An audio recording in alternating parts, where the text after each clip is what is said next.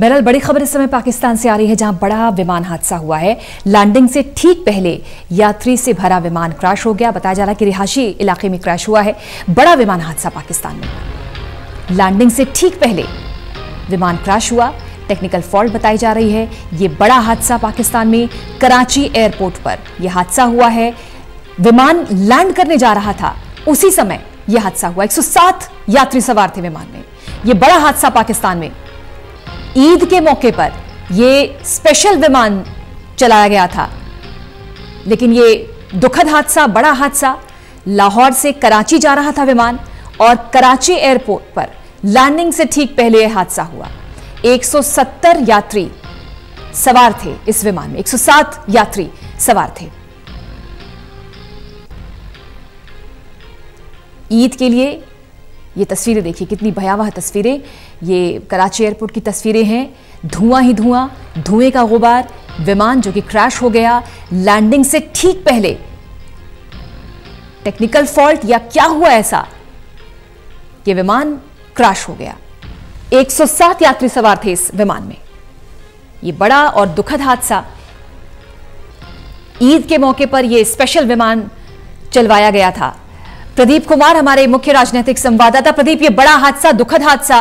107 यात्री सवार थे। ये पाकिस्तान में बड़ा विमान हादसा हुआ है।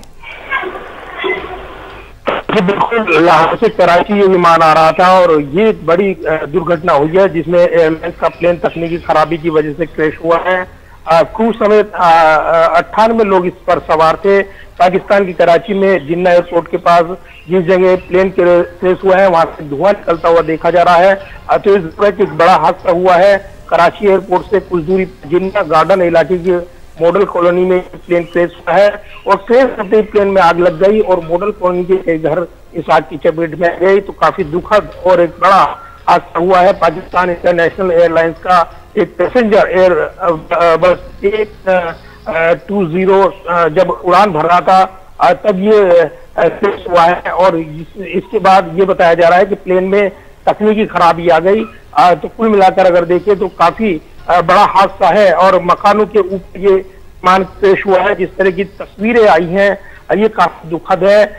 ये ये निश्चित तौर पर चिंता की बात है कि एक बड़ा हादसा हुआ है और जो नीचे मकान थे, उन मकानों पर आकर ये प्लेन गिरा है, जिससे काफ़ी लोग हताहत हुए हैं। बिल्कुल, तस्वीरें हम देख रहे हैं प्रदीप, और अंदाज़ा लगा सका लगा सकते हैं कि रहायशी का इलाका जहाँ पर विमान गिरा, अफरा तफरी भी होगी, लेकिन बड़ा दुखद हादसा।